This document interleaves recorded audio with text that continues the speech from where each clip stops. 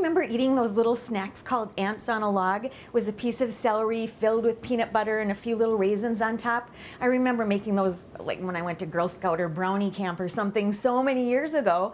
But I still love celery and peanut butter together. Today I have a special holiday treat that's a little bit like ants on a log because it's celery filled with peanut butter, but these are little Rudolph the Red-Nosed Reindeer snacks.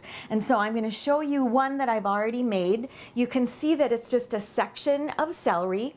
And sometimes when you get the pieces of celery, they're a little rounded at the bottom and so they don't sit flat. So then I just take my paring knife and take a little thin slice off the bottom. It will be nice and flat. It'll sit really nice on the plate. Then take your peanut butter and just spread it right into the groove of your celery just like that. And you want to get it all, all the way to the top. Just get it nice and even with the top of your celery stick. For the antlers, I've got some pretzels and I'm just going to break it. And of course, antlers aren't perfectly even on both sides, right? So it doesn't matter how your pretzel breaks.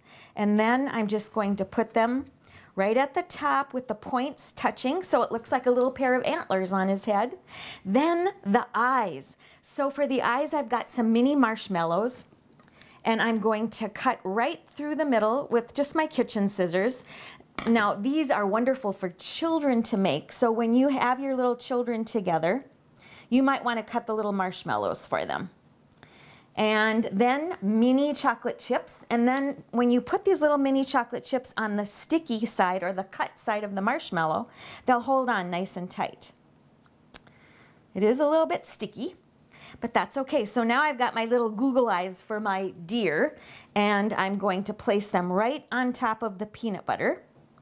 And the nice smooth side or the unsticky side of the marshmallow just holds right onto the peanut butter. I've got my eyes and then for the nose, a little red raspberry.